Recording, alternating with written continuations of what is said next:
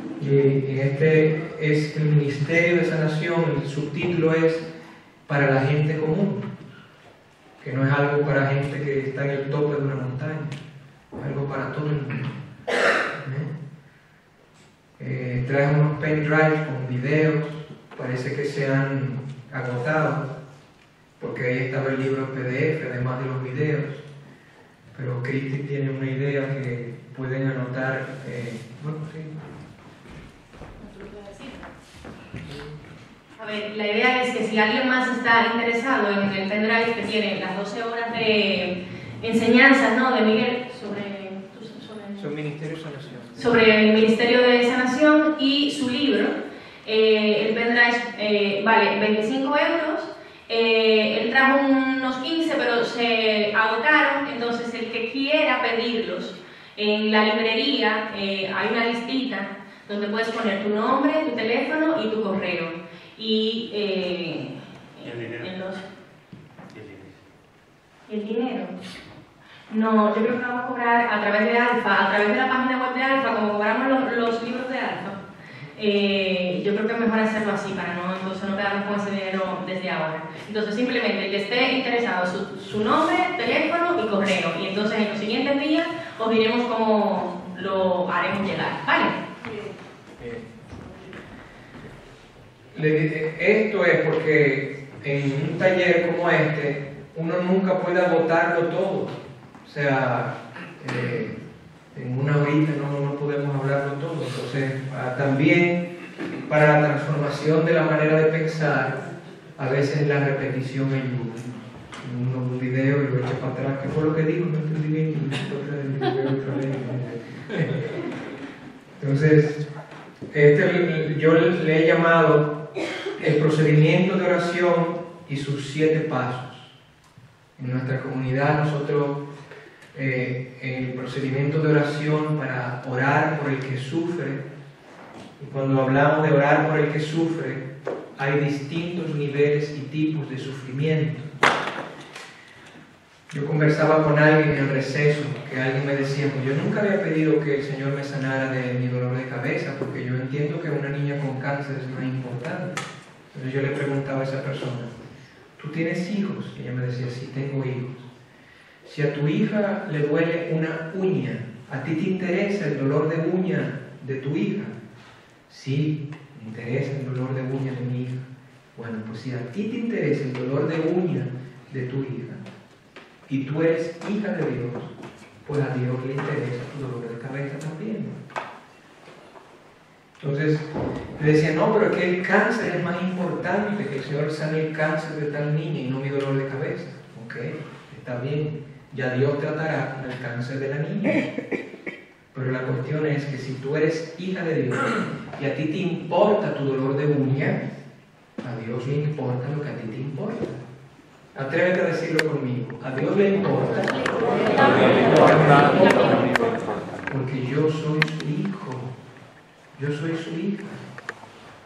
hay gente que de una forma, sin darse cuenta, a veces subconscientemente, inconscientemente más bien, le huye a ser hijo, hija de Dios.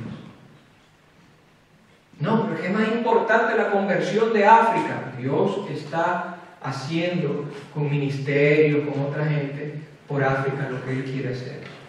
Pero Dios también le importa tú. A mí me importa todo de mis hijos. Si come, si no come, si fue al baño, si no fue al baño, si se pegó, si no se pegó. Si, o sea, todo, todo. A Dios tú le importas. Hay sufrimiento de todo tipo, de todo nivel. En nuestro ministerio le llamamos orar por el que sufre. Sufre psicológicamente, oramos. Sufre físicamente.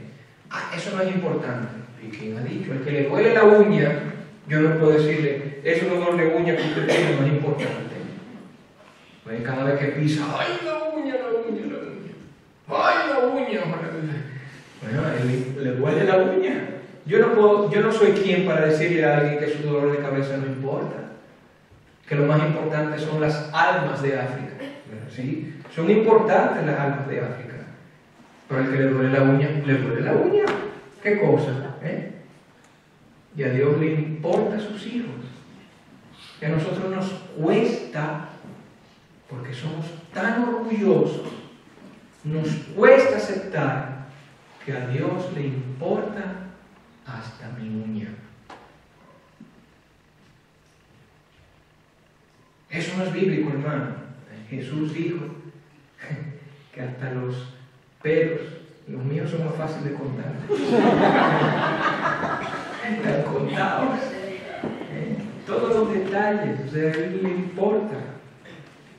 Más vale tú que un pajarito, decía Jesús. A él le importan los detalles de tu vida y mi vida, porque es un papá verdadero, real. Ya me fui por otro lado. Este procedimiento no pretende ser cerrado o excluyente. El propósito es brindar una ayuda para ir abriéndonos al ministerio de Jesús por los que sufren. Esto no es una camisa de fuerza. Hay gente que entonces agarra estos pasos y dice, no, tiene que ser así como lo dijo el calvo que no. no, es así. Esto es una ayuda, pero si el espíritu muestra que hay que dejar la muleta, pues levántese y ande sin, sin los pasos del calvo. Además, tampoco estos pasos son míos.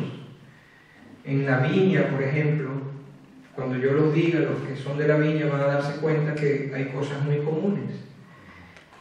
Esto realmente no le pertenece ni a mi ministerio, ni al ministerio de la viña, ni a, a nadie. Esto es el ministerio de Jesús. Y todo el que sigue a Jesús, ¿ya? el paso uno que nosotros practicamos cuando alguien se nos acerca a pedir oración, o, o puede ser también, hay distintas maneras de hacer esto, nosotros en mi comunidad, bueno, tengo que explicar, nosotros no anunciamos así en, una página de internet, ni, ni, ni vamos a un congreso y decimos que nosotros oramos por... No, la gente se, se va enterando. Y hemos preferido hacerlo así, porque si lo anunciáramos, no tuviéramos tiempo, como dice el Evangelio, ni para comer. Entonces preferimos ni anunciarlo. Y el Espíritu irá trayendo a quienes Él quiera. Pero nosotros en nuestra, en nuestra experiencia lo hacemos por citas. O sea, hay una persona en la comunidad, Elena, eh, le hemos eh, eh, puesto un móvil para ella, alguien la llama y ella pone a esas personas en un listado. A menos que sea algo urgente, que la persona esté ya en un hospital, algo urgente, pues ahí hacemos como algo eh, tipo 911. Entonces va un listado y nosotros oramos por lo que sufre todas las semanas, todos los sábados. Hacemos sesiones. Cada sesión es como de una hora más o menos. ¿eh? Si la persona está hospitalizada o en su casa y no puede moverse, entonces durante la semana acordamos a algunas personas y vamos. Nos turnamos.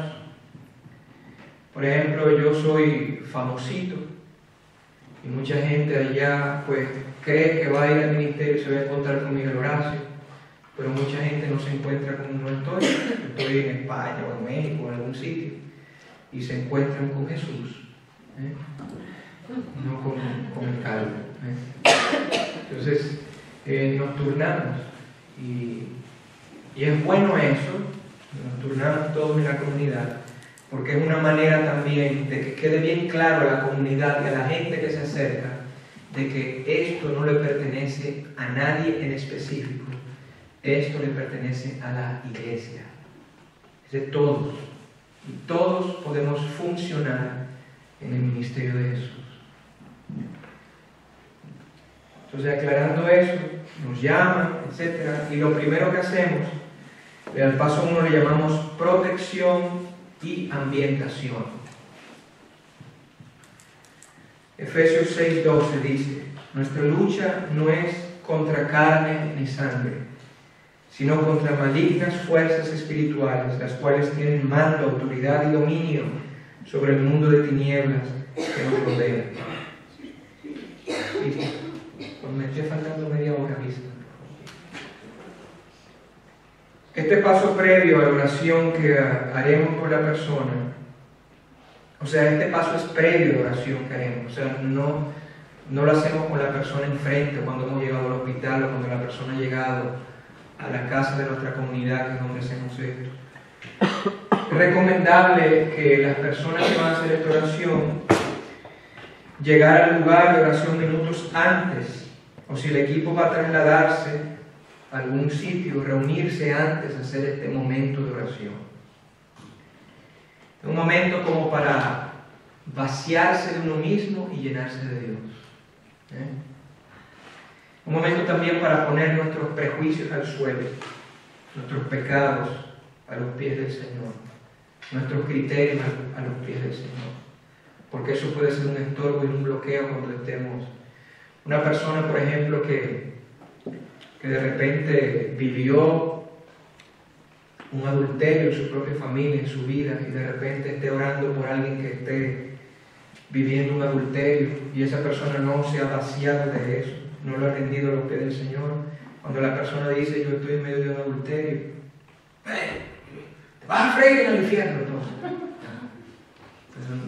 Dios no te ha puesto en el ministerio para que le digas que se va a freír en el infierno.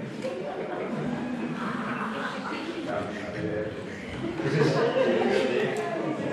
antes tenemos que vaciarnos de nosotros mismos y pedirle Espíritu Santo que nos llene. Ven Espíritu Santo. Haznos canales aptos para bendecir a estas personas, porque no sabemos qué nos van a decir, qué necesidad tienen. Es una manera también de que el equipo sintonice. A veces el Señor da palabras de conocimiento antes de tener a la persona enfrente. Nos ha pasado eso muchas veces. Ya Dios nos va preparando. ¿eh? Y pedir la protección de Dios. Pedir al Señor que nos proteja. Pedir la protección de Dios sobre nosotros, sobre nuestros familiares, sobre nuestras pertenencias, nuestros trabajos. Y pedir la protección de Dios sobre las personas que nos han pedido oración también. Es bueno que cuando se haga esta oración estén presentes todos los que van a participar. En eso nosotros somos hasta militares. Nos pasaba con John, ustedes algunos aquí conocen, Fátima aquí. Nos pasaba, John siempre llegaba tarde. Y decíamos, John, pues llegaste tarde, te vas a tener que quedar intercediendo fuera. Porque en un principio nosotros comenzamos a orar por la gente sin hacer esta oración de, de sintonía y protección y luego no funcionaba bien. Nos fuimos dando cuenta a golpes. No nos funcionaba bien, no había una buena sintonía entre el equipo y a veces nos pasaban cosas feas. ¿eh? Yo recuerdo que una hermana de comunidad así muy expresiva, bien, a veces más expresiva de lo que quisieran, por ella es Judith.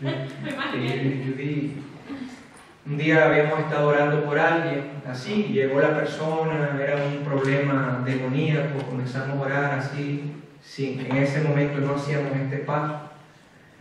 Y Judy llega a su casa, llega al estacionamiento, ella vive en una casa con un estacionamiento como cerrado, ella entra y dice, Miguel, Miguel, me llamó. Y yo, Miguel, Miguel, llegué a mi casa. Y yo, qué bueno. Pero mira que llega a mi casa y que hay un perro negro aquí afuera, pero en mi casa no hay perro negro. ¿Qué hago? Y yo, eh, dile en el nombre de Jesús que se vaya. Abre el vidrio y en el nombre de Jesús, vete, vete. Se fue, se fue, ¿qué hago? Corre, entra a tu casa entonces.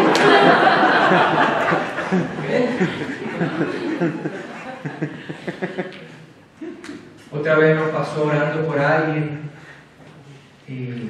y alguien de nuestro equipo el otro día amanece con los ojos inflamados y tuvo que ir al médico.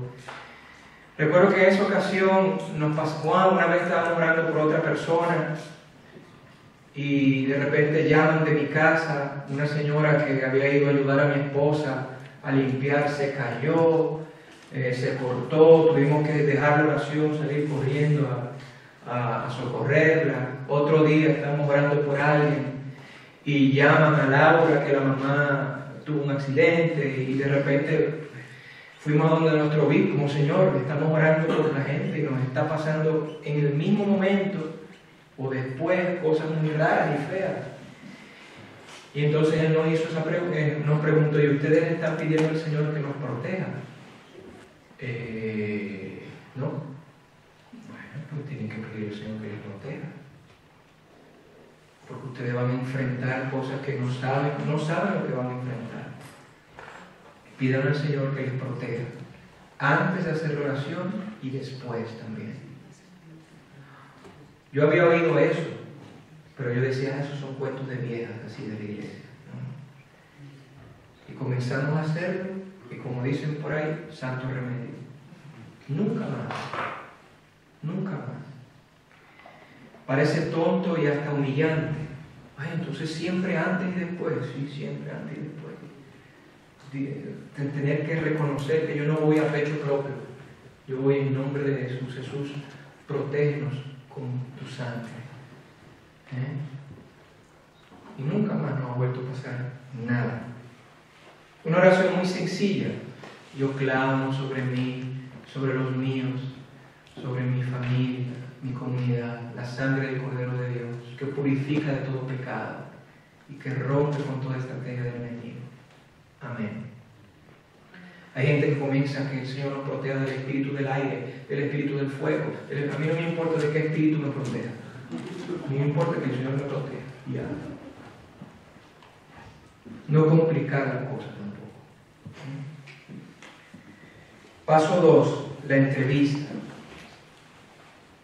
Ya esto obviamente con este paso es antes de tener la persona enfrente. El paso 2 ya es con la persona enfrente. Yo decía en el taller anterior que nosotros nunca oramos con los ojos cerrados. Obviamente no se entrevista a nadie con los ojos cerrados. Usted está mirando a las personas, pregunta cómo se llama, cuál es su nombre, por qué quiere oración, cuáles son sus necesidades. ¿Mm? Esto es algo muy bíblico. En ambientes carismáticos, yo confieso que antes me decía, vamos a orar uno por el otro, y yo iba y oraba, y comenzaba a orar sin, sin preguntar. En un ambiente carismático, más bien que carismático. ¿Eh? Jesús siempre preguntaba, siendo Dios y sabiéndolo todo, siempre preguntaba. Aunque fuera obvio, se acerca un ciego, ¿qué quieres que haga por ti? Yo fuera el ciego, ¿qué quieres que haga por ti? El ciego. ¿Qué pregunta es esa? Soy ciego. Pregunta. Pregunta, si el ciego decía, yo, yo soy ciego, pero quiero verle un ojo. Si tu fe te da para un ojo nomás, puesto será.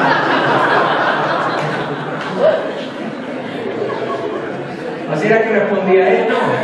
¿Eh? ¿Qué quieres que haga por ti? Haz tal cosa, hágase según tu fe. Tú lo que quieres ser tuerto, tuerto. Jesús pregunta, o sea, eso es algo del Evangelio. ¿Qué quieres? ¿Qué necesitas? ¿Qué, qué necesitas?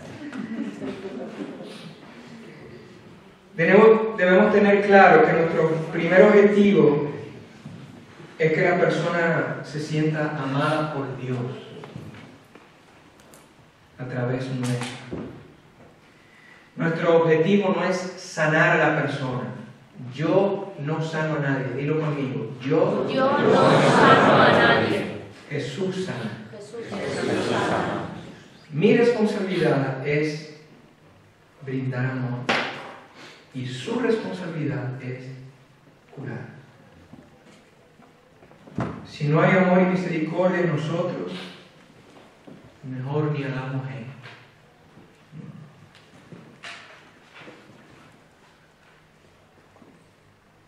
Entonces en la entrevista, con, con mucho tacto hacemos preguntas. ¿Por qué quieres que oremos? ¿Tienes dolor? Si es algo físico. Si tiene dolor y dice sí tengo dolor, del 1 al 10, ¿cuánto dolor tienes siendo uno menor? Mi hijo ya hasta un día llegó, con, como viajo tanto en la maleta, Río del Avión, llegó con dolor de espalda y tenía mucho dolor. Un día le digo, mi hijo, ven ora por mí. ¿Sí? ¿Te duele? Sí. Del 1 al 10, ¿cuánto te duele? Tengo como un 7. Ah. Y otra vez me dice, arrodíllate. Pone la mano en la espalda y comienzo a orar. Del 1 al 10, siendo 10 mayor, uno menor, ¿cuánto le duele? ¿Cuánto tiempo tiene con este dolor o con este sufrimiento? ¿Cuánto tiempo tiene con este sufrimiento? ¿Recuerda algún acontecimiento en su vida antes de comenzar a sufrir eso que usted nos está compartiendo? A veces hay dolores y enfermedades, a veces, no siempre, atadas a acontecimientos familiares, traumas en el trabajo, etc. A veces. Entonces, recuerda algún acontecimiento antes de comenzar con ese dolor, con ese sufrimiento.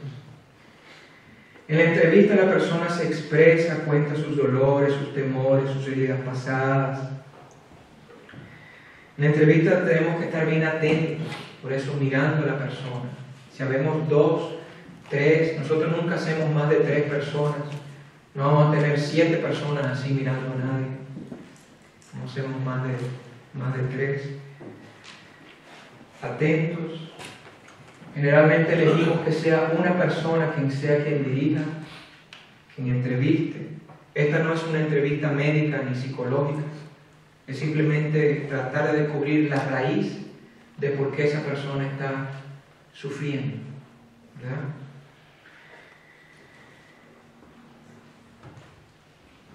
Y en este momento también uno tiene que estar abierto a las revelaciones de Dios, a las palabras de conocimiento. Uno tiene que estar, yo aprendí de una de las fundadoras de mi comunidad, de María San Giovanni, ella dice, cuando tú estás entrevistando a alguien, tú le prestas un oído a la persona, pero el otro oído al Señor. Tú estás entrevistando a la persona internamente, Señor, ¿qué tú quieres hacer en la vida de esta persona? Y hablábamos en el taller anterior, ya eso luego tú le preguntas a la persona, si lo que tú sientes le hace sentido. Paso 3. Llamamos decisión o selección de oración. Decisión, selección oración. Según lo que hemos escuchado en la entrevista, según lo que hemos visto que, hay, o sea, qué es lo que le causa este sufrimiento, qué clase de, vemos qué clase de oración necesita, qué, qué oración ayudaría a esta persona, qué quiere hacer Dios en esta persona en este momento de su vida. Como el nombre de este paso lo dice, es una decisión que el equipo tiene que tomar. Y muchas veces es una decisión junto a la persona, porque no es que nosotros nos vamos a apartar ahí espérese tantito, no vamos solos, no, junto a la persona, hablando con ella, un diálogo. ¿eh? Nos preguntamos, ¿obtuvo esta persona este dolor, enfermedad, sufrimiento a través de medios naturales o, o sobrenaturales? O sea, sufre por algo sobrenatural, un ataque demoníaco, nos ha contado que tiene horrorosas pesadillas, que algún momento visitó espiritistas, etc. Entonces, si, si es algo así, pues la selección de oración ya es una oración de liberación. O el sufrimiento, el dolor que tiene, de repente no sufre porque cuando niño le dijeron que tenía la barriga verde y ella no tiene la barriga verde y eso me dio mucho porque yo no tengo la barriga verde. Y tengo un rencor a aquel que me dijo barriga verde. Y entonces pues ya es una oración de no es demoníaco sino una herida porque se siente que, que le hirieron diciendo barriga verde sin tenerla verde. O sea ya es más una oración de sanación interior de perdón. Se ha contagiado con un virus o sus males a causa del deterioro físico, ha contraído una enfermedad, esa enfermedad es médicamente curable, sí, no, ha tenido algún accidente, es pecado o falta de perdón o amargura agarrada en su vida, algo no resuelto, es esto meramente físico, es algo interior, psicológico, es demoníaco, es una mezcla. Todo esto es para, no sé si me voy a entender, para saber cuál tipo de oración es que vamos a hacer. A veces hay mezclas. Jesús no veía a la persona por departamentos. Por eso que lo que decíamos anteriormente, no, que lo importante es el alma, lo físico no importa.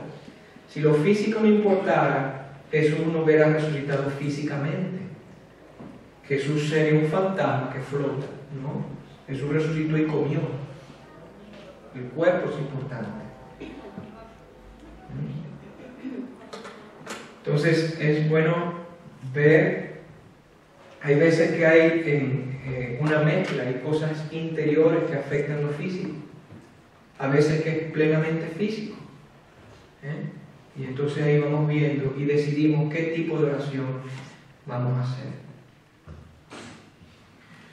La persona que dirige, pues inclusive le pregunta. Nosotros hemos aprendido en nuestro ministerio primero orar, si hay algo interior, primero orar por el interior y luego orar por la cáscara, por decirlo así, por el cuerpo. Porque muchas veces cuando se sana el interior, ya se soluciona, a veces se soluciona ya lo físico. No siempre es así, pero muchas veces también es así.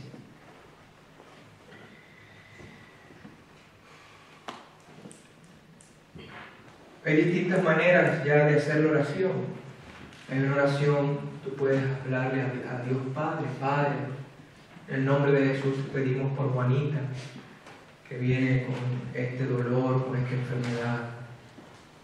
Padre, derrama tu poder, tu Espíritu Santo, te lo pedimos en el nombre de Jesús. También podemos orar en lenguas. Y más, por ejemplo, cuando a veces nos pasa que entrevistamos a la persona y aún entrevistando a la persona no sabemos ni siquiera por dónde ir, cómo vamos a hacer la oración. ¿Qué? Entonces, ¿qué hacemos? Orar en lengua. ¿Eh? ¿Y en qué ayuda el orar en lengua? El Padre Emiliano nos enseñó en nuestra comunidad que el carisma de lenguas da el carisma de los oídos. El carisma de lengua abre los oídos. Muchas veces orando en lenguas, el Señor nos pone el sentir de lo que Él quiere hacer. Y comenzamos a orar en lenguas. Ah, pues yo no tengo el carisma de orar en lenguas. Pues comience hoy a orar en lenguas. Eso es así, es un carisma de fe. Marcos 16, 17, 18 dice, los que crean en mi nombre hablarán en lenguas.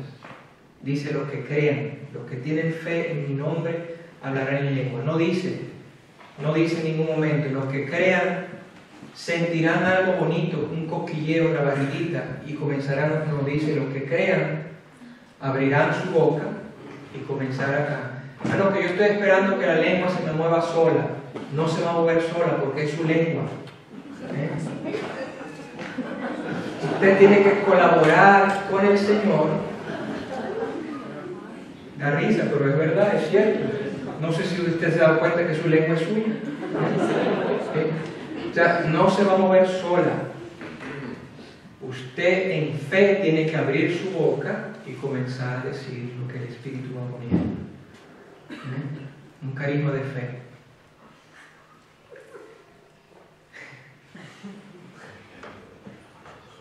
Otra manera de orar es lo que en mi comunidad le llamamos órdenes de fe. Lo que hablamos, no me acuerdo si fuera ayer o hoy. Una orden de fe no es una orden a Dios. Dios, yo te ordeno. No. Es en el nombre de Jesús, en el nombre de Dios. Músculos, espalda, en el nombre de Jesús. Y esto lo usamos más cuando es algo físico. ¿Eh?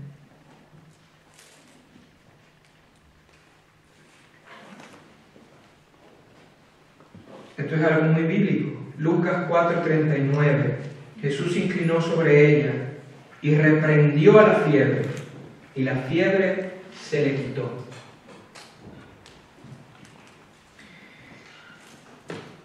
Le dijo a aquel hombre, extiende la mano. El hombre la extendió y su mano quedó sana. Marcos 3:5. Hechos 3:6 dice, en el nombre de Jesucristo de Nazaret, levántate y anda. Hechos 14:10.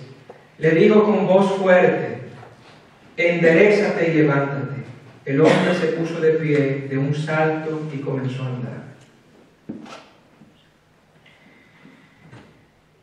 Ejemplos, bueno, ya he dado algunos, pero por ejemplo, en el nombre de Jesús, rompo el poder de esta enfermedad. En el nombre de Jesús anulamos el virus de cáncer. En el nombre de Jesús sométete a Jesucristo. Deja esta hija, a este hijo de Dios.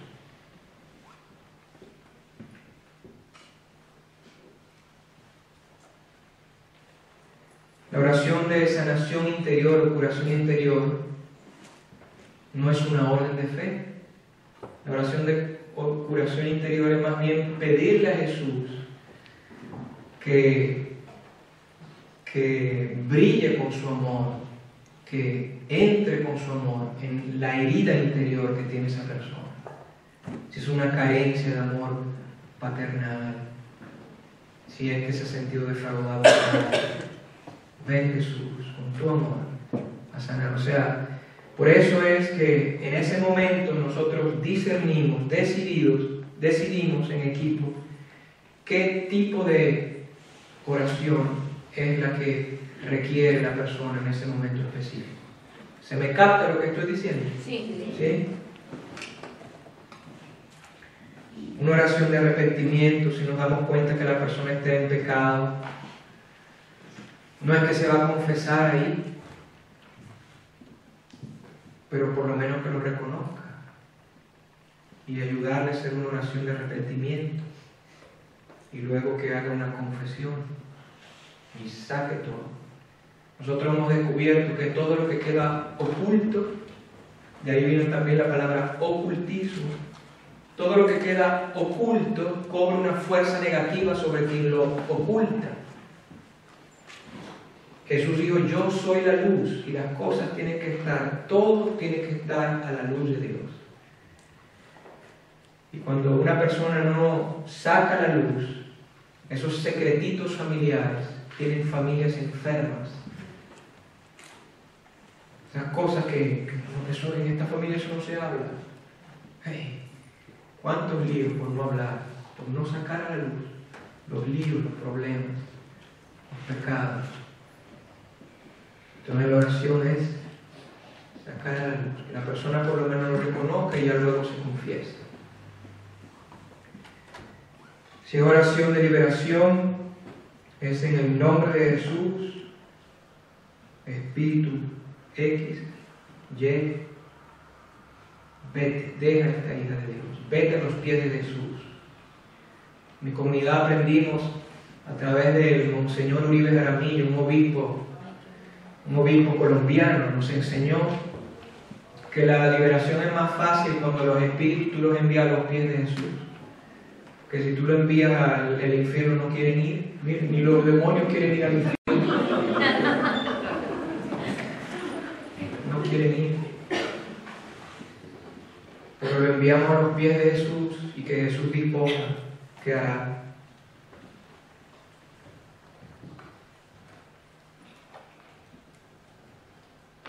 Paso 4, ya es la oración como tal.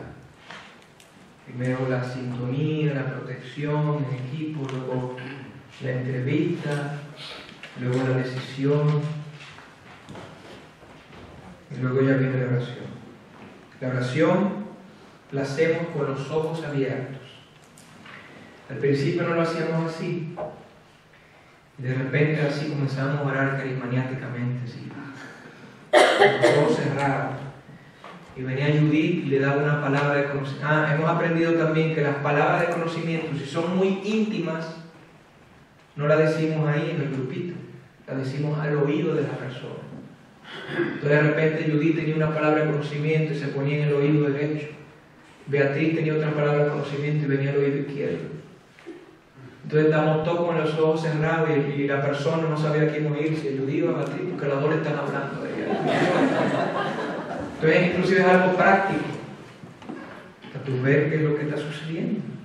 Para mirar a la persona. También hablamos de que el Señor puede darte palabra de conocimiento a través de una imagen mental. Y eh, no solamente las imágenes mentales vienen con los ojos cerrados. Tú viendo a la persona, Dios te puede. Una vez estábamos orando por alguien y yo veía como un, como un hoyo en el hombro de la persona. Y yo lo que le dije, le señalé el hombro, le dije, yo no sé por qué, pero yo veo como un, como un agujero en su hombro. ¿Significa algo eso para usted? Y dice, yo no sé de medicina. Y me dice, eh, bueno, yo tengo bursitis. Y me dicen que esos son como unos vacíos en, entre, los, entre las coyunturas. Y yo, ah, pues es el hoyo que Dios quiere sanar. Pero eso yo lo vi, lo vi, lo vi en el hombro de la persona. Entonces hay veces que con los ojos abiertos tú ves, tú ves. A veces se ven los demonios, son bien feos, pero a veces se ven. Y eh, estar con los ojos abiertos. También si es algo demoníaco es bueno tener los ojos abiertos para que no le peguen una trompada. Los demonios a veces pegan. Pero bueno tener los ojos abiertos, pues si les va a pegar usted se, se.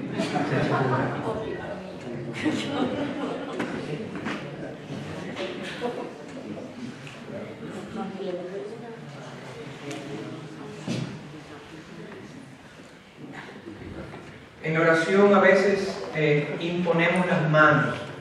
Imponer las manos es un gesto bíblico.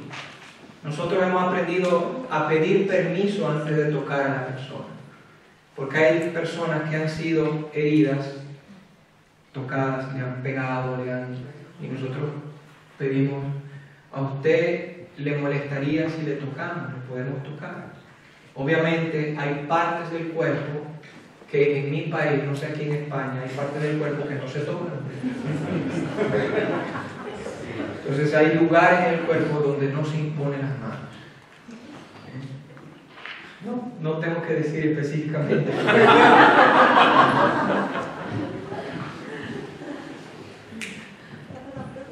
Marcos.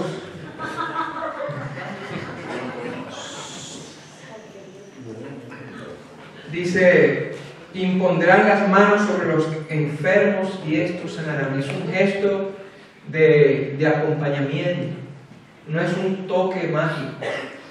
Las manos no tienen nada de especial. Es como un yo estoy contigo. Es un yo me interesa. Es como algo natural. Cuando un niñito se pega, mi hijo se pega y, ay, no, te duele aquí, le paso la mano. O sea, es como, eh, bueno, hablando de pasar la mano, es imponer las manos. La- el Señor nos dice, y sobarán a los que sufren. No sobarán, es-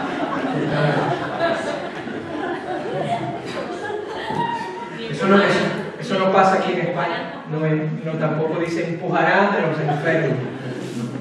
La persona va a caer, lo tumbará el Señor, no el que ora.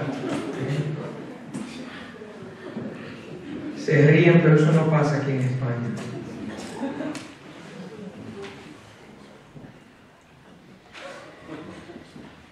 Paso quinto, paso cinco. Nosotros le llamamos la reentrevista. Hacemos una entrevista de nuevo. Hay personas que me han preguntado, ¿y eso no es romper la oración? No. La oración verdadera es un diálogo, un diálogo con Dios, un diálogo con la persona. Estamos dialogando.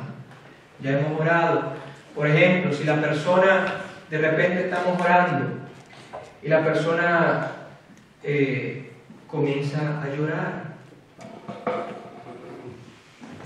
O, de repente algo cambia, algo- por eso es bueno también tener los ojos abiertos. Yo recuerdo una vez estaba en México orando por una persona así blanca, blanca, como esa pared. Y en medio de la oración esa persona tenía como una infección en su sangre y yo no lo sabía. ¿no? En la entrevista dijo que me comenzó a hablar de algo, vamos a decir, espiritual de su vida, no me habló de- nada físico. De repente yo comienzo a hacer la oración y esta persona, así blanca, blanca, se puso roja como, como eso, roja como un tomate, así. Y yo le pregunto, ¿te, te sientes bien? ¿Estás, ¿Estás bien? Me dice, sí. Y yo le digo, estaba con los ojos cerrados, abre tus ojos, mírate. Y él dice, uy, estás rojo. O sea, ¿eso te pasa con frecuencia? No, no, eso no me pasa con frecuencia. ¿Y por qué tú estás tan rojo? Pues no sé. Yo, bueno, pues yo creo que Dios está actuando. O sea, ¿qué tú crees que significa esto? Y me dice, bueno, yo tengo una condición, me están tratando médicamente, tengo una infección en la sangre, y yo, bueno, pues puede ser que el Señor te está curando. Entonces, con los ojos abiertos tú puedes ver las manifestaciones de Dios. Puedes ver qué es lo que Dios está haciendo. En el ministerio de mi comunidad, nosotros lo preguntamos, todo lo preguntamos. Si la persona comienza a temblar, no lo dejamos temblando. Le preguntamos, hey, ¿por qué tú estás temblando? ¿Eh? Si la persona se cae, la dejamos que se caiga y cuando ya se levanta, ¿por qué te caíste? Todo lo preguntamos. O sea, ¿te dijo algo el Señor? ¿Hizo algo el Señor? Porque las cosas hay que digerirlas. Y hay que ayudar a la gente a que dijera lo que Dios está haciendo. Y por eso preguntamos, porque hay gente en esos países que yo voy, yo sé que en España no pasa, pero hay gente como que no se entera. No se entera de que Dios está actuando. No se entera de que Dios está tocando. No se entera de que Dios le está, le está bendiciendo. Entonces le ayudamos preguntándole, ¿por qué tiemblas? ¿Por qué te has puesto rojo como un tomate? ¿Por qué lloras? ¿Por qué estás sintiendo ese calor? ¿Eh?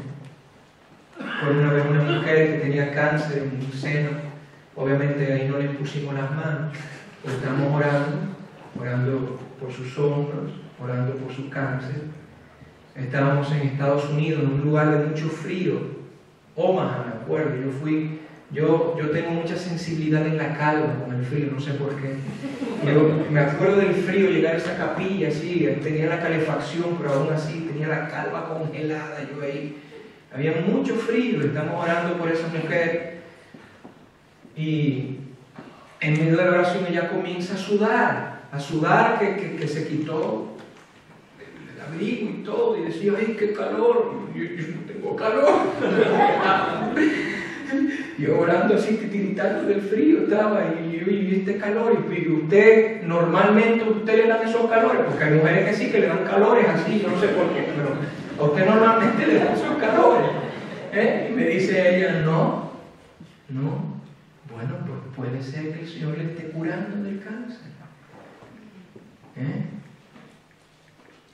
Luego llegó un correo electrónico como un mes después que ella se fue a chequear y el cáncer se le había ido. Y ahí se le manifestó con un calor en medio de un friazo. Entonces hacemos una reentrevista. Esto es bíblico también. Jesús lo hizo. Un día le estaba orando por un ciego y le pregunta, ¿qué ves? Y el ciego dice, veo a la gente como árboles que caminan. Y no me quedó bien el ciego. no, no digo eso. Pero...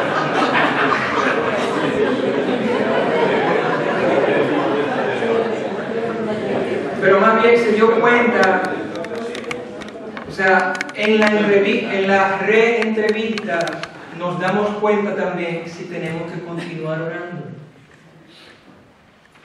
¿Eh?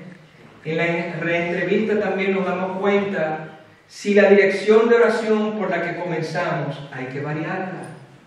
¿Eh?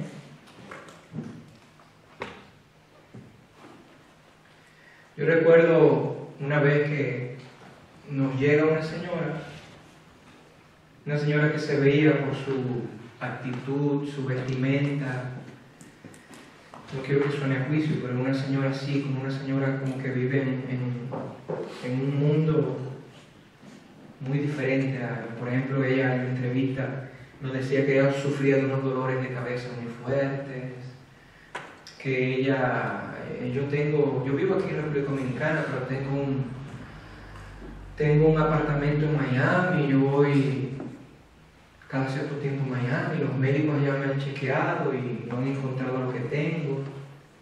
El otro día andaba en un crucero por Europa con mi familia y, y, no lo pude disfrutar por el dolor de cabeza. Ella vivía en un mundo que todo lo tiene, ¿verdad? Y como que nada necesita. Y bueno, pues, ¿por qué oramos? Bueno, pues, oren por mi dolor de cabeza, porque yo, yo estoy muy bien comenzamos a orar por el dolor de cabeza. De repente, nosotros que estamos con los ojos abiertos, eso es bueno también los ojos abiertos, a veces nos hablamos con los ojos. A mí Dios no me decía nada, yo estaba orando, le pregunto. La otra persona le dice, yo veía una, una, esta señora no iba a la iglesia, una señora así, vivía en su mundo, ¿verdad? Pero a veces el Señor le habla a la persona, no a los que estamos orando. A veces el Señor, nosotros a veces le preguntamos en la reentrevista, ok, nosotros hemos sentido esto, hemos orado por esto, pero ¿has sentido tú algo? Hay gente que dice, pues no, no he sentido nada. ¿Has pensado tú en algo? De repente alguien dice, bueno, yo pensé en la tía Chencha. ¿Y por qué habrás pensado tú en la tía Chencha? Bueno, yo hace mucho que no hablo con la tía Chencha, porque ella un día me dijo que yo soy feo, y desde aquel día yo le dije, tía Chencha, no voy a hablar contigo, ojalá y te mueras. ¿Y no será que el Señor te ha traído la tía Chencha porque tienes que reconciliarte con la tía Chencha? Ay, mire, no lo había pensado, pero ya que usted lo dice, pues sí. El Señor no nos lo dijo a nosotros, sino que le recordó la tía Chencha. Pero hay gente que Dios le habla y zapatea lo que Dios le está diciendo. Yo sé que aquí en España no lo hacen, pero, pero de repente, ahí en ese momento, en la entrevista, la señora esta, nosotros no sentíamos nada y le preguntamos, ¿le ha pensado algo? Y oiga, nos dice, qué curioso, mientras ustedes estaban orando, yo tuve una imagen de un periquito bien bonito, con colores de plumas muy lindas. Y yo decía, qué bonito el periquito, pero yo lo veía en una jaula de oro. La jaula preciosa, brillante, con piedras preciosas, pero el periquito estaba enjaulado. Y la misma señora dice, esa soy yo.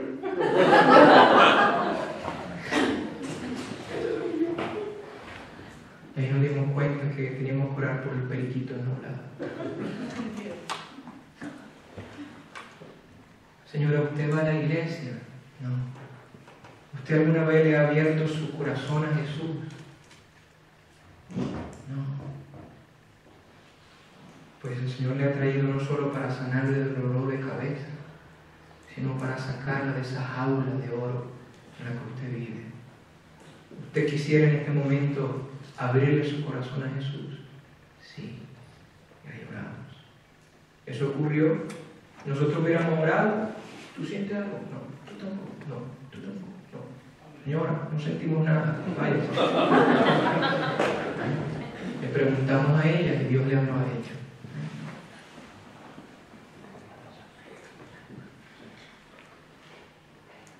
Paso 6. Ah, bueno, se me olvidó decir, cuando oramos por físico, nosotros nunca, oígame bien, nunca decimos si es tu voluntad. Nunca. Porque esa frase, si es tu voluntad, es sacada de contexto en cuanto a la oración por los enfermos. Cuando Jesús usó la frase, Padre, si es tu voluntad, líbrame de este... Eh, Jesús estaba en el contexto de la misión de su vida. Jesús cuando oraba por los que sufren, nunca usó la frase, si es tu voluntad. Nunca la usó. Nunca enseñó a los discípulos a orar de esa manera. Si estudiamos la historia de la iglesia, en los primeros cuatro siglos de la iglesia, nunca se oraba si es tu voluntad. ¿Eh? Le hacemos daño al que sufre, porque ya el que sufre, y más en algunos países que son muy analíticos, si la persona está escuchando la oración y de repente el que está orando dice, si es su voluntad, dice, ah, si no me sano, es que Dios quiere que yo esté así. ¿No? No es así. Entonces nunca oramos así. Es más, si la voluntad de Dios es que la gente estuviera enferma, el que toma medicina está pecando.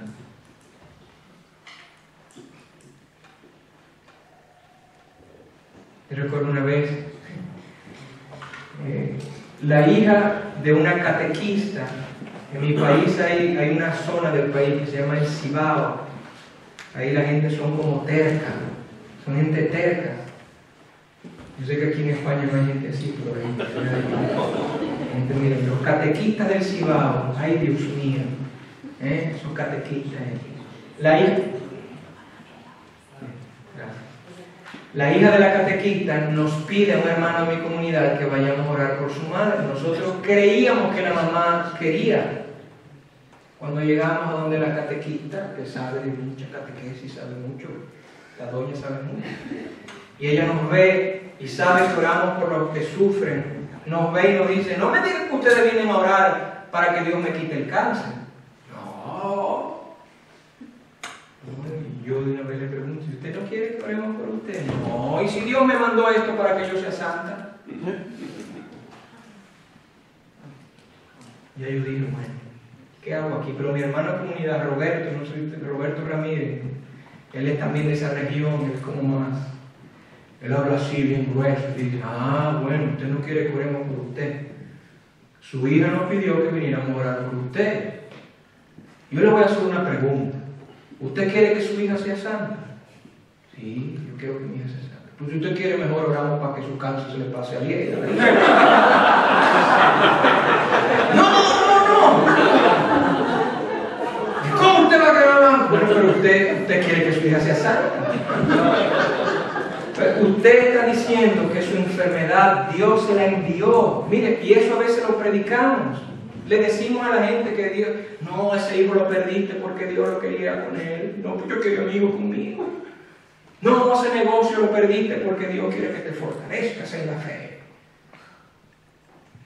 Búsqueme en el Evangelio donde dice eso. Pero nuestra falta de fe crea teologías y excusas.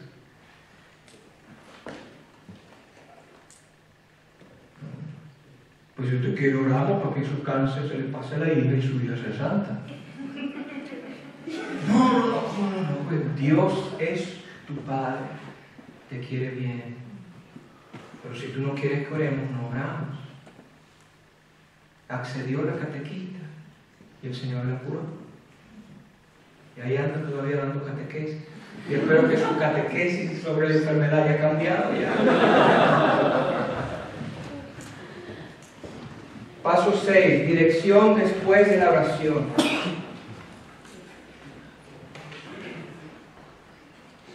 Nosotros nunca damos consejos. Jesús nos dijo, vayan y aconsejen a la gente. Muchos de nosotros hemos reducido el envío de Jesús de sanar, de liberar, a aconsejar a las personas. Nosotros oramos por las personas. Inclusive hay personas que nos dicen, denme un consejito. Mire, nosotros no damos consejos. Nosotros oramos por usted. Que el Señor haga que el Señor diga. Hay países, inclusive, no sé aquí, que hay consejería profesional. Eso lo dejamos a los que han estudiado consejería. Nosotros cumplimos el mandato del Señor de orar por el que sufre. Pero puede que hayan algunas indicaciones que le podamos dar a la persona. ¿eh? A la que le cogió odio la tía Chencha, oramos, la persona se arrepiente, hace una oración de perdón, y luego la dirección después de la oración, vaya y hable de la tía Chencha, perdónela, trátela ahora con cariño. La señora que estaba en las jaulitas de oro, que no iba a la iglesia, mire señora, busque la parroquia más cercana. Dios la trajo. El Señor la curó del dolor de cabeza, luego nos llamó. Ah, estoy yendo a tal parroquia, estoy ya asistiendo a la iglesia ya no tengo dolor de cabeza. Pensé que el dolor de cabeza era una manifestación del enjaulamiento de vida que tenía esa doña en su jaula de oro. La dirección después de la oración también es algo muy bíblico. Jesús a la gente le decía, vete, y si la sanación estaba conectada a algún pecado, le decía, vete y no peques más para que no te pase algo peor. ¿Eh? Por eso Jesús lo decía después de haber orado, después de haber sanado. No podemos dar consejos así a la ligera. Orar por la gente y luego darle alguna indicación. ¿eh? En el caso de que la persona necesite otra sesión de oración, otro momento de oración. Pues en ese momento decimos, mira, hemos orado por ti, si tú no ves ningún cambio en tu vida, en tu físico, si es algo físico, pues puedes llamarnos de nuevo y podemos orar de nuevo. O esto no es algo magicoide que con una ya, no. A veces es un proceso. La persona puede llamar de nuevo y nosotros hemos visto milagros a veces, ¡paf! así de una, como lo que le conté de la pierna que creció, paralíticos que se ponen de pie, pero hay otros que hemos visto que ha sido un proceso. Recuerdo yo estaba en un congreso carismático allá en Santo Domingo y yo sentía que ahí había alguien que tenía metal en su cuerpo, había sido operado y que tenía metal en su cuerpo y que Dios le estaba curando y se puso de pie un joven adulto. Y ya que estaba de pie, le doy una orden de fe en el nombre de Jesús, haz un movimiento que antes no podías hacer. El muchacho tenía como unas eh, tuercas metálicas en la columna vertebral, no podía moverse bien y de repente él se echa así para adelante y comenzó a moverse. Pero yo sentí que teníamos que seguir orando por él. En esa ocasión Elena me estaba acompañando en ese congreso. Yo generalmente no voy solo a los lugares, pero aquí tengo hermanos tan queridos que es como si yo estuviera en mi comunidad. Pero ahí andaba con Elena y le puse a hablar con Elena para que fuera a las sesiones de oración. Este joven fue todos los sábados que nosotros orábamos como por, no sé, como un año y medio. Ya toda la comunidad lo conocíamos, Luis Carlos se llama. Luis Carlos no podía trabajar, Luis Carlos no podía tener una vida matrimonial normal, Luis Carlos no podía cargar a su hija, Luis Carlos no podía caminar bien. Hoy Luis Carlos está felizmente casado, hoy Luis Carlos carga a su hija, hoy Luis Carlos está trabajando. Un día Luis Carlos me llama y me dice, Miguel Horacio, yo no he hecho el curso alfa ese que ustedes ofrecen, yo no he hecho el seminario de vida en el Espíritu, pero yo he recibido tanto en esas oraciones que ustedes me han hecho, que yo quisiera hacer lo mismo, ustedes me permitirían hacerlo. Y dije, ¿qué importa que tú no hayas hecho ningún curso? Ven a orar con nosotros. Y Luis Carlos me ha acompañado a orar por otra gente también. Luis Carlos todavía tiene los metales en su cuerpo, pero es como si no los tuviera. Los médicos no se explican. ¿eh? La terapia no lo pudo ayudar, los médicos no le pudieron ayudar y él anda por ahí una vida normal. Entonces, eso lo hicimos varias veces, oramos por él muchas veces. Y el Señor fue haciendo algún sábado, el otro, el otro, el otro, el otro, el otro. Y así. Paso 7, y ya termino, es lo que nuestro obispo nos decía, pedir la protección del Señor. Y evaluamos también, ya cuando la persona se ha ido de la sesión de oración, o si hemos ido al hospital ya afuera, Señor, otra vez clamamos la sangre de Jesús, sangre del Cordero de Dios que purifica de todo pecado, que bloquea cualquier venganza del enemigo. Sea lo que sea, por ejemplo, aquí sí somos un poco más específicos. Si hemos enfrentado cáncer, Señor, protégenos a nosotros, a nuestros seres queridos del cáncer. Si hemos enfrentado odio, protégenos del odio. Si hemos enfrentado ira, protégenos de la ira. Y así. Y acabamos. Y evaluamos en qué podemos mejorar. Ahí fue que nos dimos, ahí evaluando nos dimos cuenta, tenemos que orar con los ojos abiertos. Así, mira, verdad. Ahí evaluando nos dimos cuenta, tenemos que eh, poner a alguien que dirija y turnarnos para que no sea el mismo siempre. Evaluando fue que fuimos mejorando y, y evaluando pues, pues se va mejorando. ¿Sí? Amén. Amén. Yo sé que deben tener preguntas, pero no hay tiempo. ¿Cuánto tiempo nos queda? Nos quedan 30 minutos. Entonces lo que vamos a hacer es orar. Yo quiero preguntar, del 1 al 10, del 1 al 10, ¿hay alguien que tenga algún tipo de dolor físico que esté en 9 o en 10 actualmente aquí? ¿Eh? ¿Usted le, le molestaría si la ponemos aquí enfrente y oramos delante de los demás? ¿No?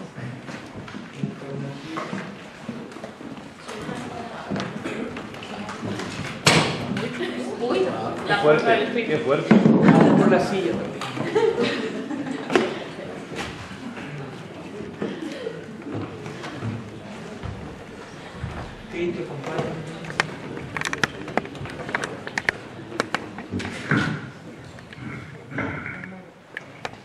Bien. Yo la oración de protección no la voy a hacer porque la hice antes de salir de mi casa y venir a España. Mm. Entonces ya estamos aquí también protegidos porque hemos adorado al Señor. Entonces Rosario, ella se llama Rosario. ¿Y dónde te duele? Esa mano. Estás deformando. ¿Y has ido al médico? ¿Sí? ¿Qué te dice el médico que tienes? Calambres. No, no hay un diagnóstico, no te Sí, dice. sí, con artroparosis, una reuma, un, eh, ¿cómo se llama esto? Artrosis. Ahora mismo, de 1 al 10, ¿cuánto te duele? Muchísimo, me tomo una pastilla hace un rato. ¿Y te duele así constantemente? Sí, sí, sí, me dijo con los dedos rígidos y... Y no la con facilidad. Eh, sí, yo hago mucho esfuerzo, hago muchas cosas con las manos, pero aguanto el dolor, soy, eso sí, aguanto. ¿Y cuándo comenzó esto? ¿Hace cuándo? Eh, el tema de las manos hace muchos años, pero es verdad que de unos meses para acá empeoró. Hace, hace unos años, ¿cuántos años? No, 35 años tenía. Te- Tenía 35 años. ¿Qué ocurrió a los 35 años que recuerdes? ¿Algo en tu familia, algo en tu vida? ¿Se puede decir? No. Pero ocurrió algo, tú lo tienes, ¿eh? ¿Sabes lo que ocurrió? Ya. Puede ser que lo que ocurrió esté conectado con esto. No sabes. Tú dices que hace unos meses se empeoró. ¿Ocurrió algo hace unos meses que haya podido hacer que duela más? ¿Sí? Sí, ¿También? ¿Se puede decir o no? sí. ¿Sí? ¿Qué? Empeoró mi madre. Empeoró tu madre. Tu madre está enferma. ¿no? Se fue. Hace un poquito. hace poquito. Y cuando tu madre comenzó a empeorar, el dolor comenzó a aumentar. No, que lo dice. No había caído, ahora que lo dice usted. sí. Dios te ama mucho.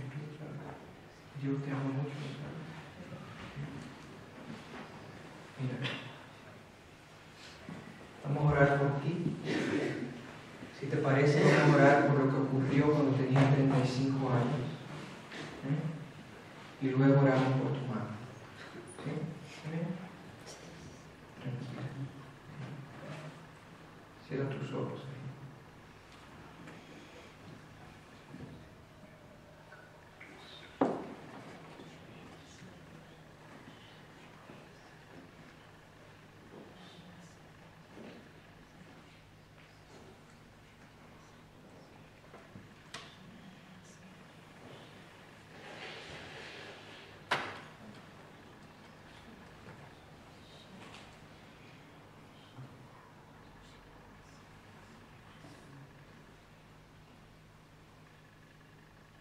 Jesús, ven con tu luz, tu amor, a ese momento específico.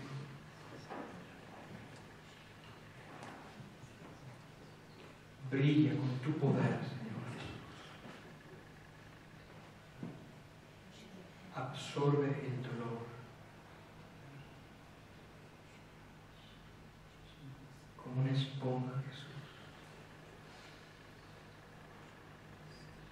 De aquello que ocurrió.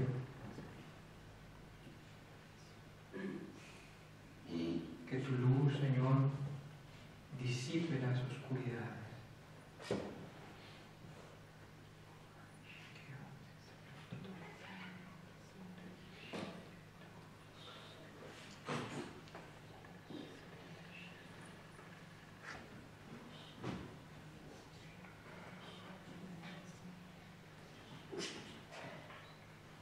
Voy a apartar el micrófono porque siento algo privado y se lo voy a decir al oído. No quiero que nadie escuche.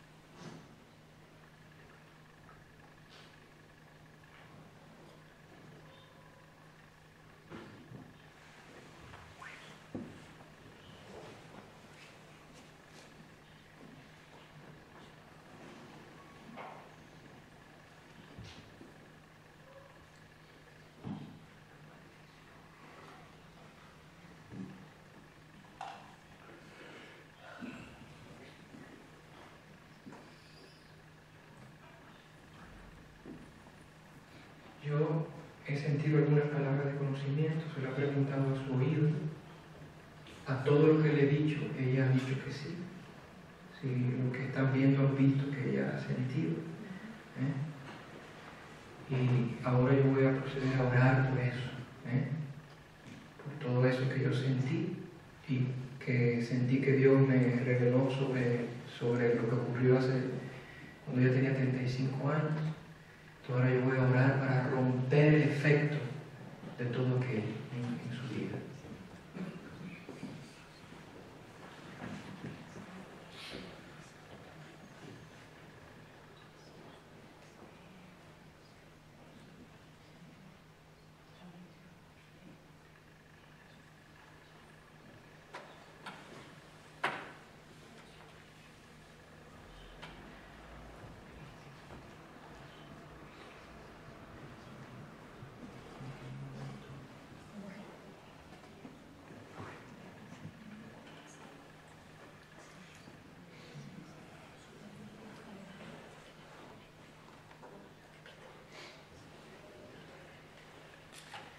Cristi también ha sentido algo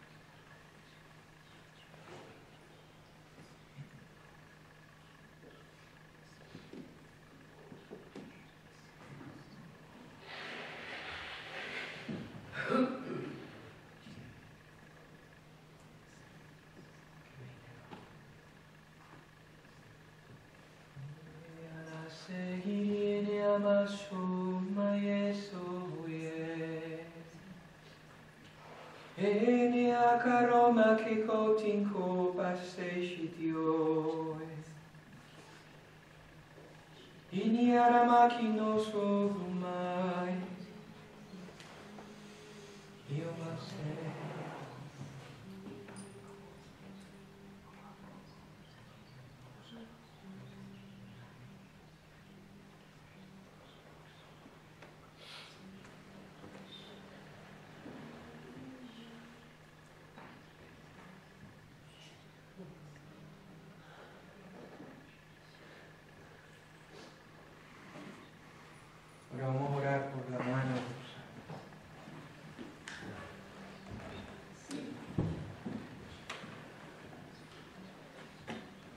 En el nombre de Jesús.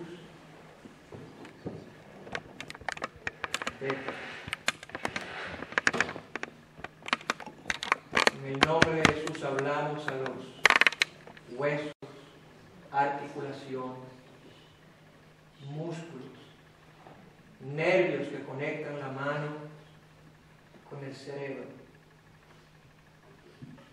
Absorban el poder del Espíritu Santo. En el nombre de Jesús, dolor, vete en el nombre poderoso de Jesús.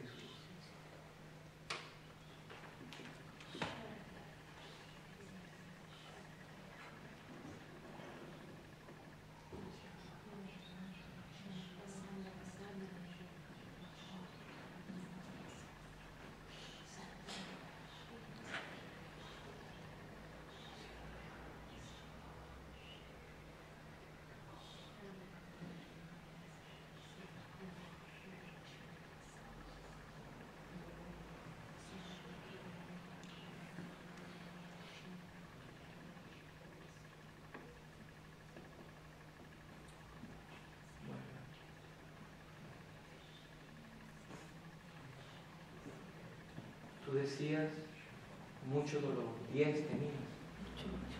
Y a- ahora está igual, está peor, está mejor. Sientes algo diferente. Se me sigue quedando cogido. Te sigue, pero el dolor. Sí, sí. Y el dolor es igual. Sí, sí, no, sí. Lo que, lo que estoy tratando de, de ver. Es decir, todo sigue igual, lo que quiero ver es si hay algo diferente. No importa lo poquito que seas, pero que seas también veraz. No, no inventes nada. O sea, ¿qué, ¿Qué hay diferente? O si está todo igual. El dolor fuerte, fuerte, no. Pero sí, mm, Ok, eh, vamos a enfocarnos en lo, que, en lo que Jesús sí está haciendo. Tú decías que fuerte, fuerte lo tenía. En ese momento te estaba doliendo mucho. Y en este momento, del 1 al 10, como en cuánto está ahora? Como en 7 u 8. Gloria a Dios. ¿Eh? Tenemos que aprender a enfocarnos en lo que Jesús está haciendo, no enfocarnos en lo que Jesús no está haciendo. A veces queremos enfocarnos en lo que Él no está haciendo. Pero si Él está haciendo algo, aunque a mi parecer sea pequeño, yo tengo que decir gracias. ¿Eh? Si bajó dos puntos, gracias Jesús. Gracias Señor. Gracias porque estás actuando. Bendito eres Jesús. En el nombre de Jesús, dolor, vete. Huesos, músculos, nervios, obedezcan el poder de Jesús actuando. Retírate en el poder de Jesucristo.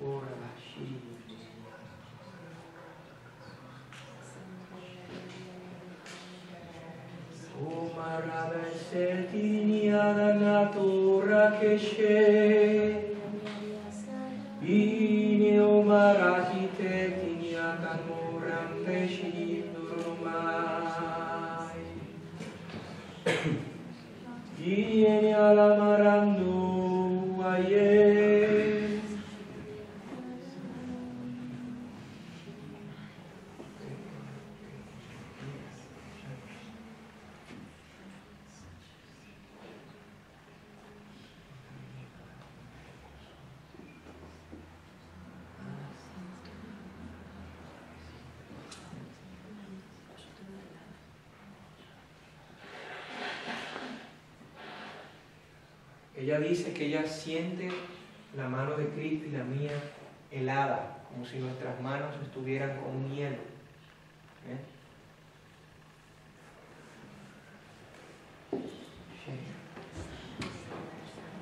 Como un efecto, o sea, yo no tengo frío, pero ella, la- ella lo siente así. Ella también.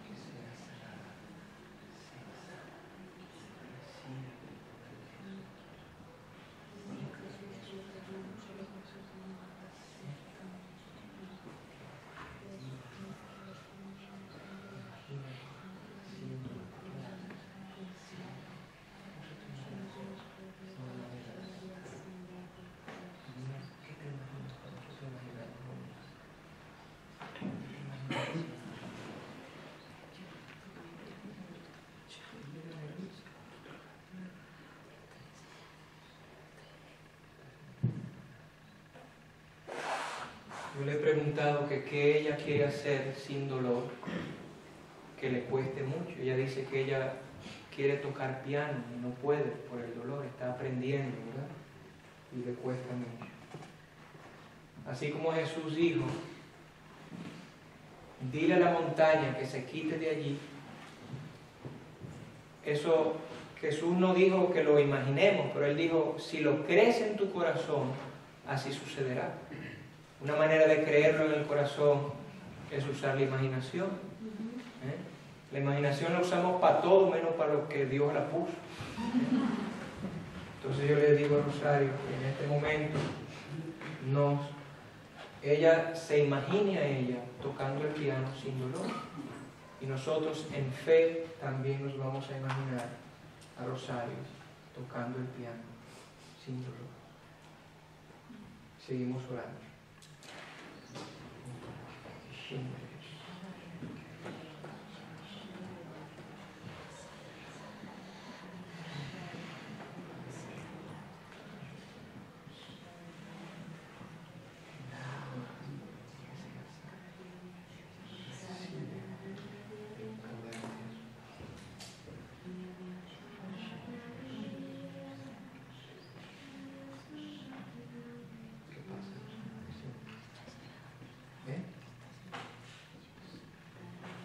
Ella nos está mirando como extrañada. Yo le pregunto qué pasa. Ella dice que estamos helados.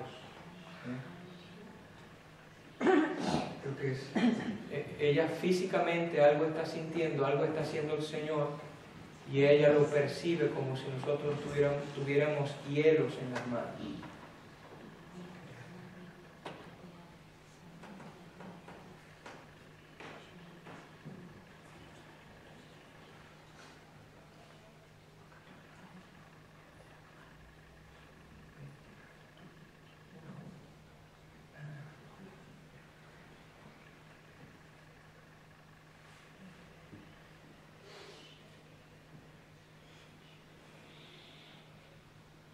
Cristi siente que yo estire los dedos uno a uno, poco a poco, y lo infecto. y-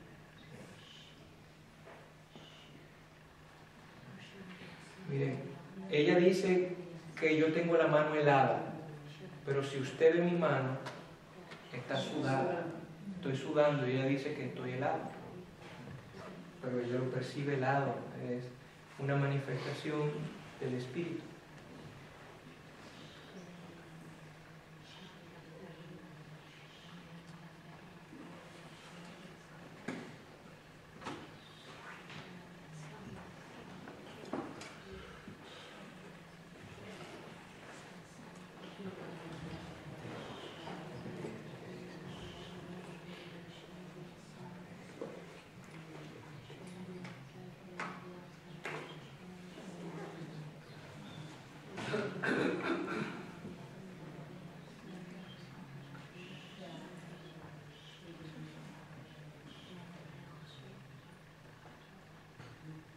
¿Cómo te lo De- Decías la última vez que estaba 7 u 8, ahora cómo está. 4. Gloria a Dios, gracias. Demos gracias.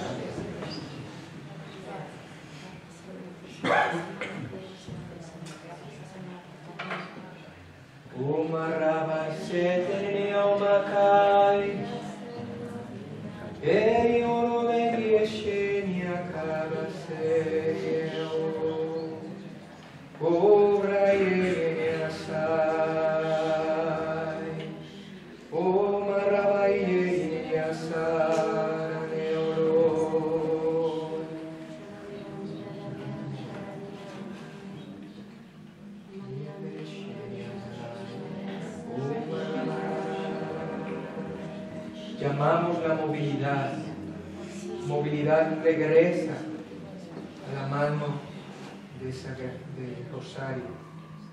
Regresa en el poder de Jesús. Regresa movilidad, dolor, vete.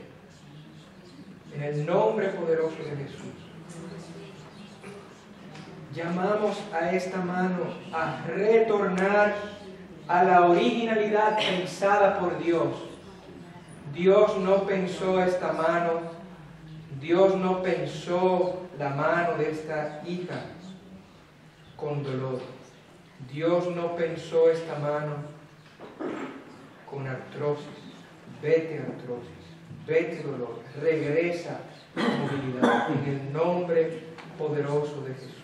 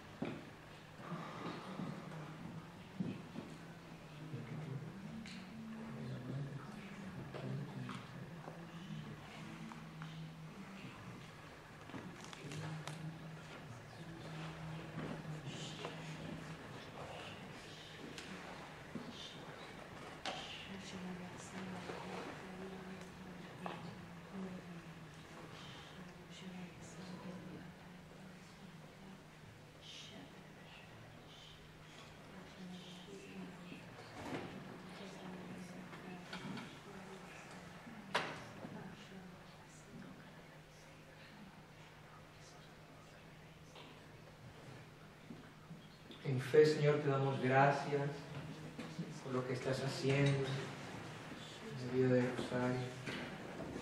Te damos gracias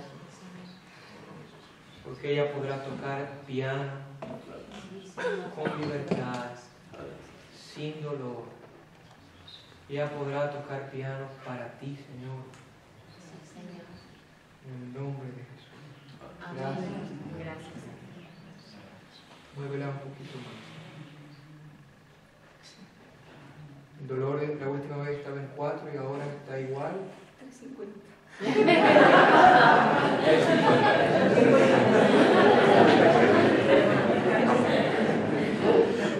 Pero va cediendo, va cediendo el dolor.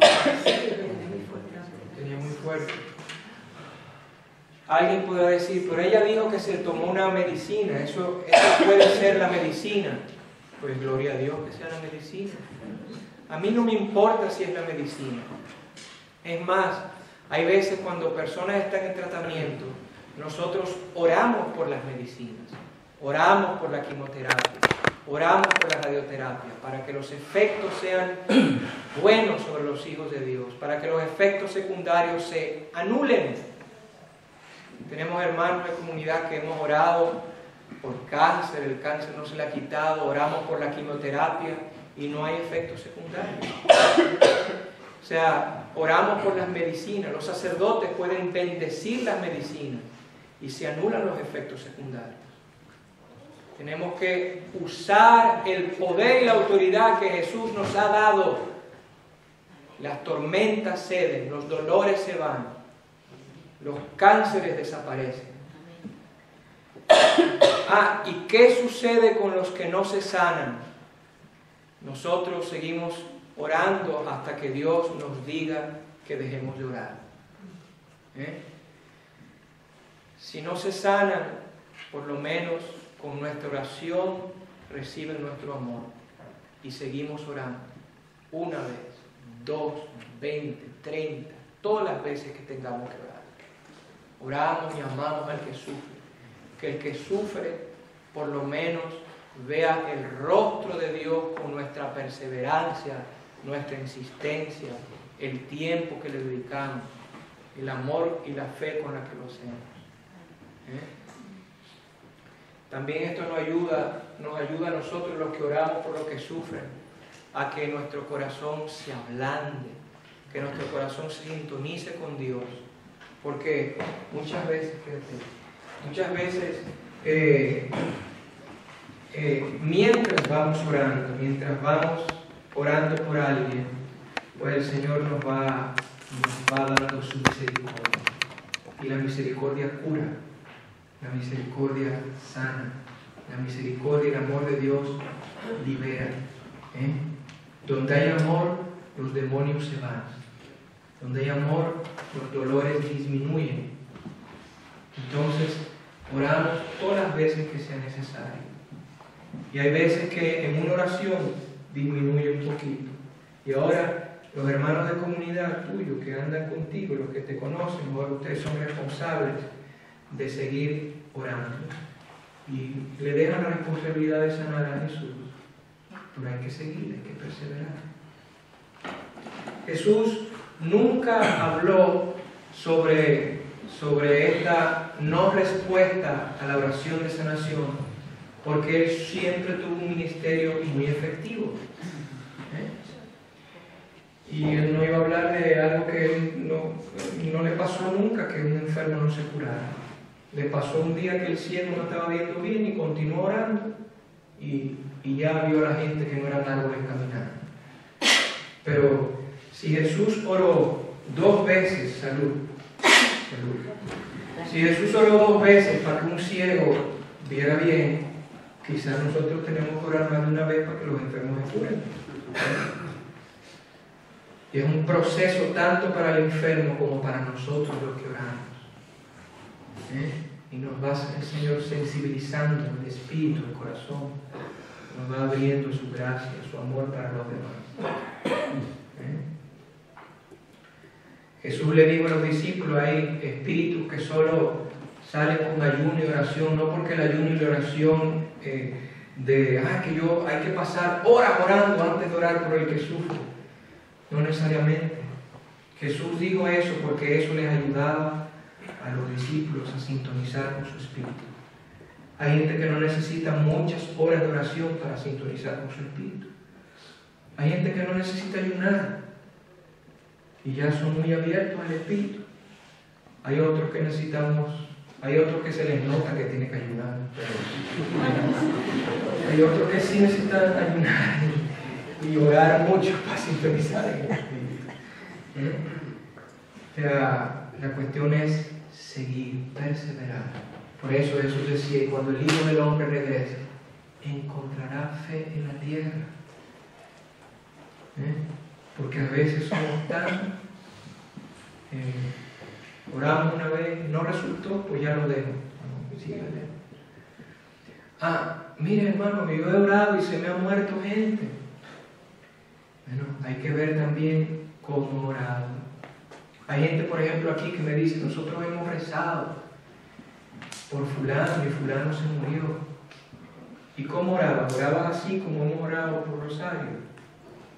Le pregunto a esa persona, ¿has orado frente a frente, cara a cara, le has impuesto las manos? No. Le hemos dicho, fulano, vamos a rezar por ti, nos vamos a nuestra casa y oramos desde nuestra casa. Yo no digo que la oración de a distancia, de a lejos, yo no digo que no sea efectiva, pero la oración bíblica que vemos era de tú a tú, cara a cara. A la gente le decimos, vamos a rezar por ti y nos vamos, lo dejamos ahí con el dolor, torcido con el dolor. No, ora ahí por la persona. Si quiere orar, si quiere mostrar el amor, ora ahí. Ay, hermano, si usted hubiera orado por fulano, no se hubiera muerto. Pero tú has orado por fulano. No, que me da vergüenza, es que usted sabe. Y si no resulta. Y tú amas a fulano, sí. Pero si lo amas, hazlo. Termino con un cuento de mi obispo. Es un cuento. Te lo robo a él. Él dice que un día llegó un alma al cielo y cuando Dios lo ve dice, ¿qué tú haces aquí? Y la persona dice, me morí. Ah, y por eso estás aquí, pero es que no era, tu, no era tu tiempo de morir. Ah, pero mira que tuve un accidente, un accidente muy fuerte, o sea, me golpeé la cabeza, los médicos intentaron, pero es que no era tu tiempo de morir. Yo envié a los que fueron a su mente a orar por ti. Ah, pues no fueron.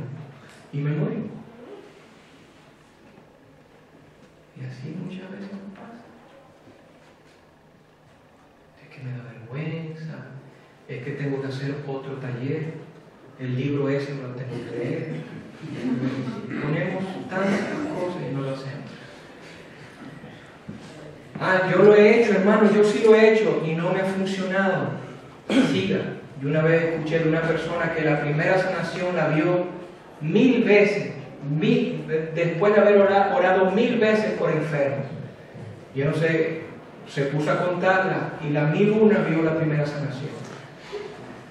John Wimber, el fundador de la viña, cuenta, lo he visto en videos, que él enseñaba cursos bíblicos de sanación y oraba y nadie se curaba. Y como un año y medio después vino la primera sanación, hicieron una fiesta en la iglesia. Tenemos uno, Señor, gracias. Pero duraron un año y medio proclamando la sanación. Y a la primera no lo dejaron, siguieron. Y de seguro que en el año y medio gente se puso peor y algunos hasta se murieron, pero siguieron porque a eso nos mandó el Señor y tenemos que seguir. Y ya se acabó el tiempo. ¿Cómo, cómo sigues? ¿Eh? ¿Sigue un poquito mejor? Señor, te damos gracias por lo que has comenzado a hacer en tu hija. Ponemos como un campo protector alrededor de ella, que nada impida que tú sigas avanzando en su corazón en su fe y en su mano. Protégela, bendícela. Amén, que quiere decir, como hemos orado, así sucederá. Eso es lo que significa amén. Amén. amén. amén.